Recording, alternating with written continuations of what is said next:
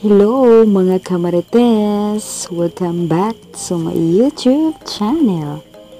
For today's Celebrity Kids Chika, pag-uusapan natin ang ating cute na si Baby Feliz, anak ni na Elise Husun at Makoy De Leon.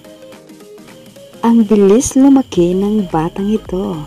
Magti 10 months na pala ito. Parang kailan lang at nag-viral ito ng aminin ni na Elise at McCoy na may anak na sila. Nagulat man ang karamihan pero natuwa naman sila para sa dalawa. Ang ganda naman ng batang ito at napaka-charming.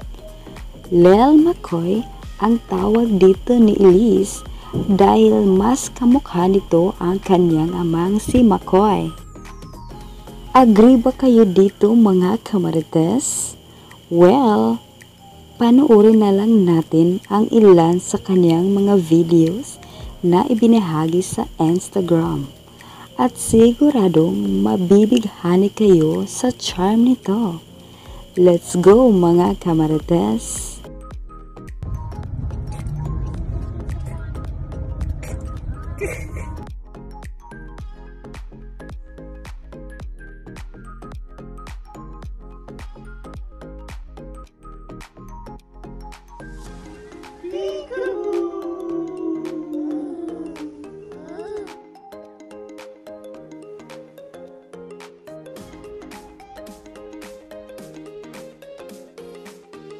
At yun lamang po mga kamarites sa susunod ulit na chika.